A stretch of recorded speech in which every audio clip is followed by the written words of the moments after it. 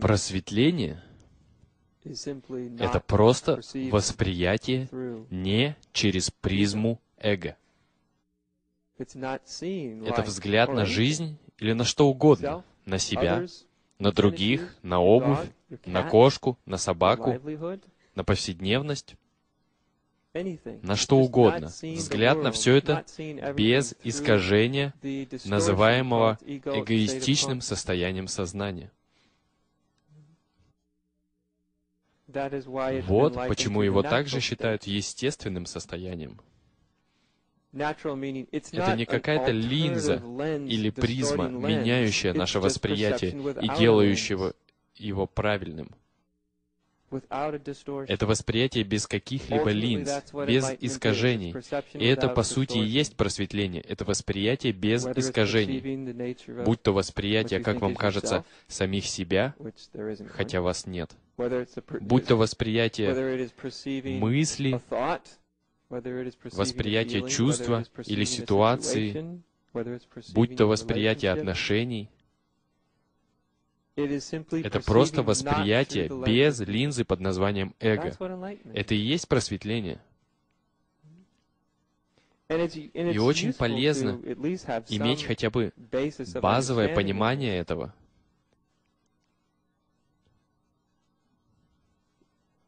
Потому что пробуждение, или то, что в дзен называют сатори, опыт взгляда за пелену существования.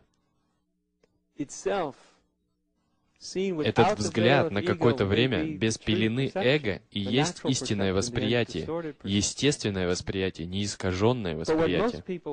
Но многие люди считают, что просветление это непрекращающееся сатори, опыт бесконечного пробуждения, какой-то бесконечный опыт, который не заканчивается. Но это совершенно не так. Это не бесконечный опыт, и он не может быть таковым. Такое непонимание приведет вас к бесполезной погоне, которую вы даже представить себе не можете.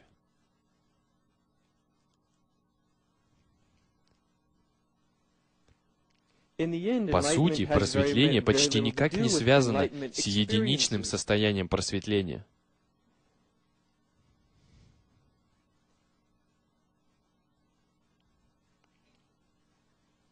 Это не какие-то откровения. Это просто восприятие без эго. Вот что это такое. И без сомнения, это достаточно хорошо. Не воспринимать окружение через призму эго. Это счастье, это покой, это конец поиска. Вы ничего не находите. У вас появляется здравомыслие. Вы ничего не получаете, но видите вещи в их естественном состоянии. И это и есть нирвана, видеть вещи такими, какими они являются. И когда вы видите вещи в их естественном виде, вы понимаете, что все является единым. И природа всего и всех это не что-то материальное, как вам казалось. Природа всего — это пустота. Природа чего угодно — это пустота, ничто. Истинной природой it's всего является то, что оно не вещественно, нематериально. And И подобный взгляд на вещи Это не какие-то измененные состояния сознания. Со стороны просветленного восприятия все остальное является измененным состоянием сознания. Эго это- Если вы хотите иметь измененное состояние сознания, я могу вас обрадовать. Большинство людей уже called в самом жутком измененном состоянии сознания. Оно называется эгоистичное состояние сознания. Это жутко измененное состояние сознания. Оно заставляет вас видеть вещи, которых нет. Видеть врагов там, где их нет. Вы видите двойственность там, где ее нет. У вас появляются такие вещи, как образ собственного «я», хотя никакого «я» не существует. У вас появляются мысли о собственном «я», о себе, хотя единственное, где мы можем найти свое «я», это только в своих же мыслях. Поэтому, если вы хотите достигнуть измененного состояния сознания, оставайтесь с эго. Это самое измененное состояние, которого можно достигнуть. Эго старается изо всех сил, чтобы изменить наше сознание.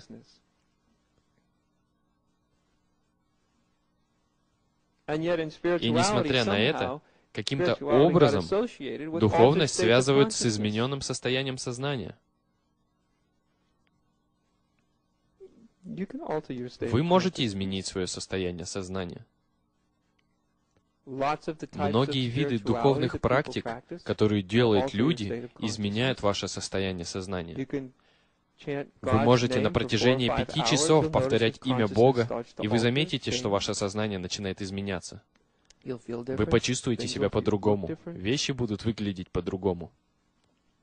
Есть много способов для изменения своего состояния сознания. Но вот что забавно. Просветление не связано ни с одним из таких состояний. Просветление — это неизмененное состояние сознания. Сознанию не нужно изменяться, чтобы увидеть, что все едино. Так как все является одним целым, нам не нужно никаких изменений, чтобы увидеть и понять, что все едино. Нам нужно измененное состояние сознания, чтобы нам показалось, что все разделяется. На два, на три, на четыре, пять, десять, тысячи. И в такие моменты в дзен их называют сатори, мы часто называем их просветлением. В момент пробуждения самой важной вещью является, какая часть, сколько вашего эгоистичного сознания отпадет, исчезнет в момент пробуждения. Потом, через неделю или через месяц, только это будет иметь значение. Потому что этот опыт, чувство «ага», которое вы ощущаете, чувствуя свою истинную природу, «ага». Я думал, что я вот такой, но это было лишь моим воображением. Какое облегчение! Это и есть «ага». Но это состояние «ага» не сохраняется навсегда. Через неделю это состояние уже исчезнет. Вы когда-нибудь это замечали? У вас было Oh величайшее открытие в вашей жизни, а через неделю это уже что-то обычное. Поэтому важно не то, сколько продлится это «ага», потому что оно не будет длиться вечно. И это прекрасно, потому что означает, что всегда может произойти еще одно. Важные моменты по поводу этих сатори или пробуждений к своей истинной природе, это то, сколько вашего эгоистичного состояния отпадет после такого опыта, потому что с этим опытом вам жить дальше. Это то, что останется с вами на следующей неделе, в следующем месяце, году, может даже в следующей жизни.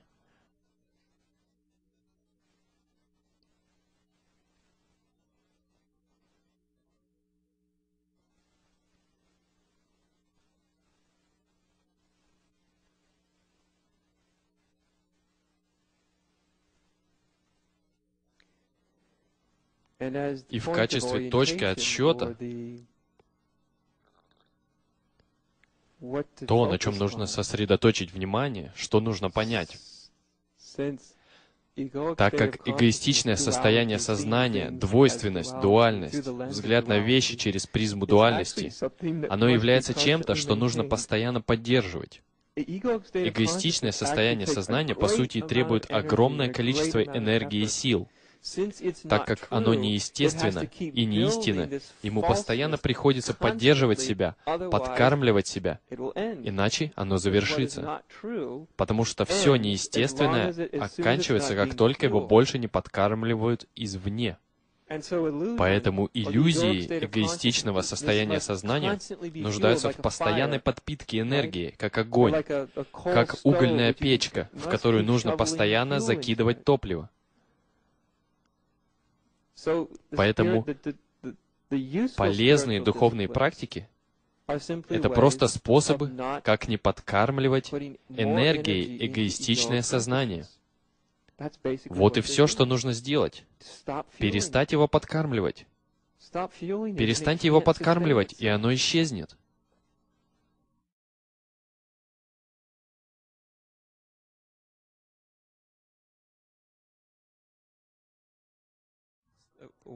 Осознанность на самом деле это не состояние наблюдателя или свидетеля. Обе эти вещи делает эго. И эго может стать более или менее умелым в роли наблюдателя или свидетеля. Эго может больше или меньше находиться в настоящем. Все это вещи, в которых эго может улучшить свои навыки, если действительно постарается. Но ничто из этого не относится к тому, о чем я говорю. Пребывание в осознанности — это не какой-то процесс, не дело. Это просто состояние. Вы не можете делать состояние осознанности. Если бы наш ум сказал, хорошо, звучит интересно, и что же мне сделать? Что можно сделать? Осознанность уже присутствует. Как можно пребывать в осознанности? Разве мы что-то делаем, чтобы пребывать в осознанности? Уместно ли вообще какое-то делание?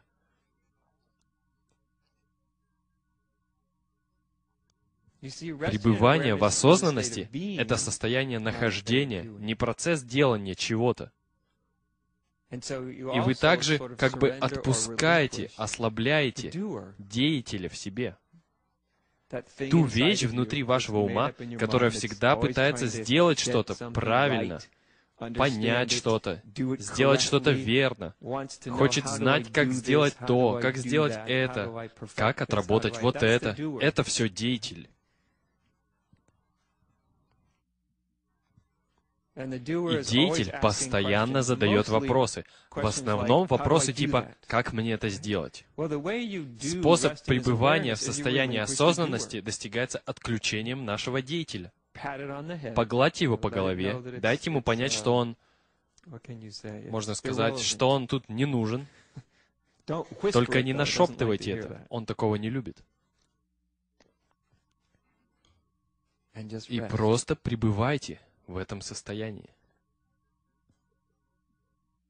Для того, чтобы пребывать в этом состоянии, нужно все отпустить, а точнее оставить все как есть.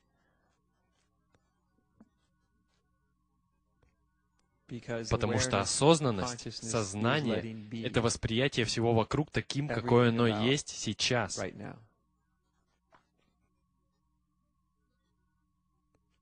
Ваш ум может быть, а может и не быть настроен на состояние восприятия всего.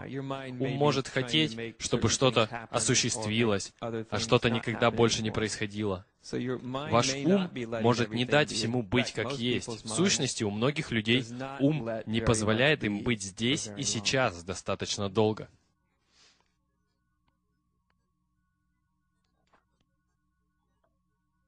И для того, чтобы просто пребывать в осознанности, нам нужно отпустить нездоровое желание все понимать и нездоровую, невротичную нужду что-то делать.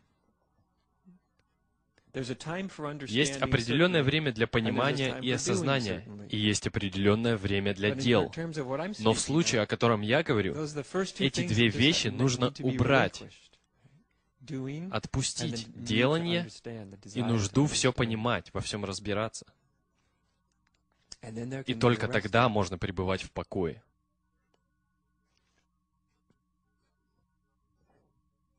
Когда большинство людей начинают расслабляться, успокаиваться, они понимают, что та вещь, которую мы называем осознанность, на самом деле присутствует и действует.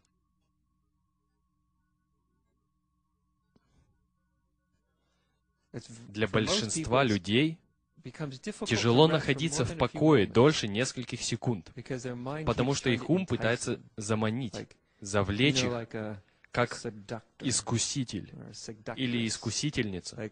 Он говорит, нет, нет, нет, вот если бы ты понял последнюю вещь, Тогда ты бы пребывал в этом состоянии гораздо проще.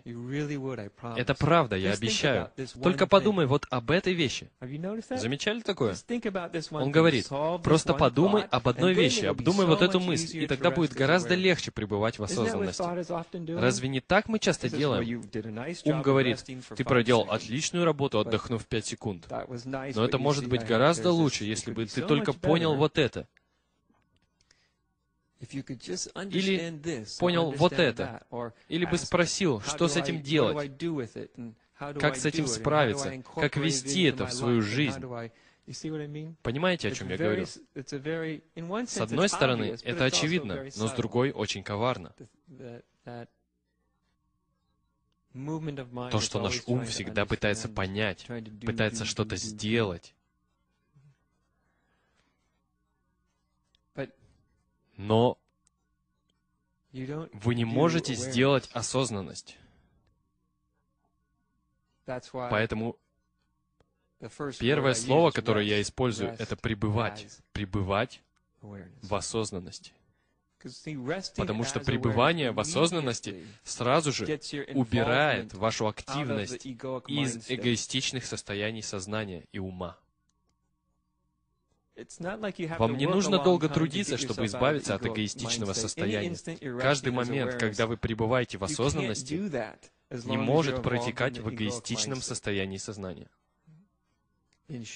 У вас отпадает постоянное стремление понять все, ухватить идею всего. Все это делает эгоистичный ум. Вы не можете разделиться и пребывать в осознанности, и при этом иметь эгоистичное состояние ума. И как только вы начнете пребывать в этом состоянии, автоматически, в этот момент вы не подвержены, вы не пойманы эгоистичным состоянием ума.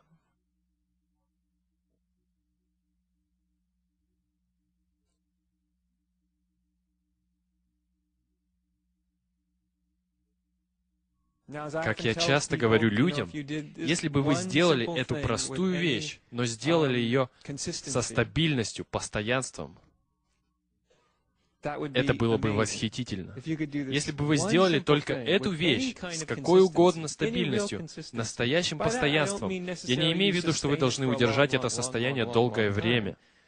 Я не это имею в виду под словом «постоянство». Я просто имею в виду, чтобы вы не соблазнялись умом, который постоянно пытается все выяснить.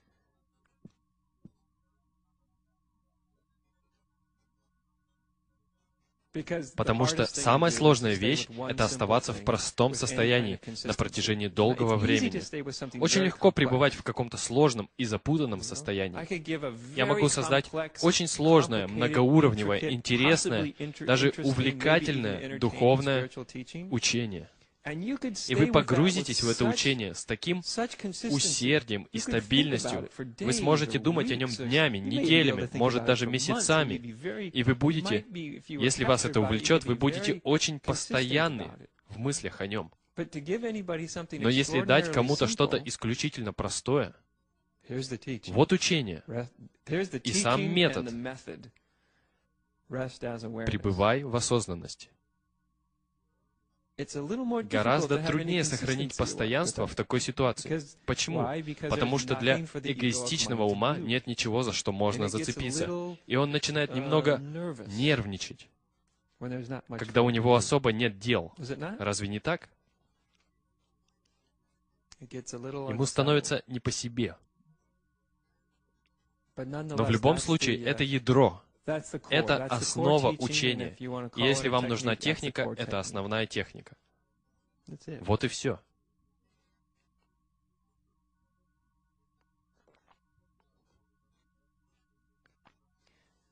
Если вы, если пребывание в состоянии осознанности на самом деле произойдет,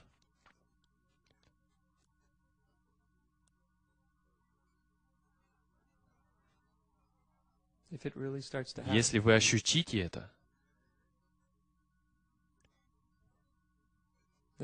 тогда в какой-то момент на вас не зайдет, что вы и осознанность — это не две разные вещи. Что, по сути, вы не кто-то, кто находится в осознанности. Что это был трюк, идея, идея о вас.